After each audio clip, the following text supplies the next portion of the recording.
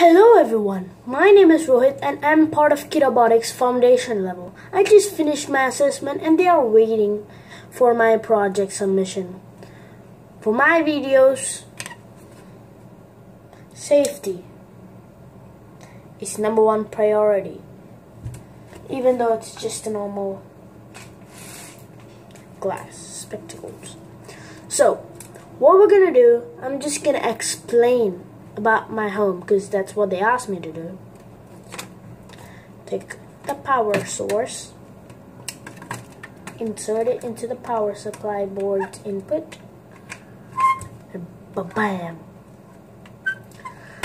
The first of all, I'll be just explaining about my calling bell, which uses momentary switch and a buzzer. Take a lane. So you see, that's part of the calling belt. So the calling box is finished. So take it.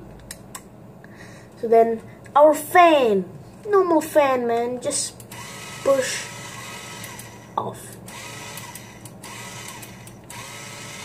So you can be like, Whoa, whoa, whoa, whoa, whoa, whoa. so then our IR sensor IR means infrared. I think you can see in this in this dot over here. Here, over here. Yep, as you can see if I put my hand in front of it, you can see it over here. When I put my hand in front of it, there's a green, green LED glowing. So then comes our um, automatic street lighting system that is also here so when it's completely dark. But when I raise this up this goes. You see this brightness this this thing over here? When I raise this up it offs. And when I did close this it ons. Then is our two-way switch oh my god this thing went came out what the heck? Anyway so this is an hour B. So A. A this this LED will glow in complete brightness. But when we turn the two-way switch into the B terminal it can be adjusted into whatever dimness or brightness you want it to be.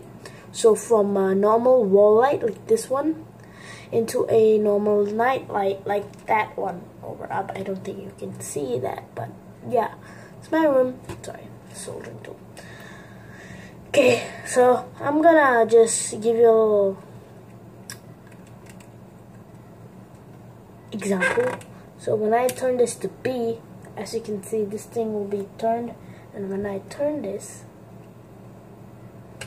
you can see, I think you can see over here, this one, yep, you can see that. So as you can see, when I turn it on, it's dim. So then, you can use a normal USB port or something. Then just turn it. I think you can't see that because it's turning very slowly. So yeah, that's the end of my video. Please give me extra marks and yeah. Hope I get. I get a beginner set. Bye bye. See you later. Mm. Where's the button there?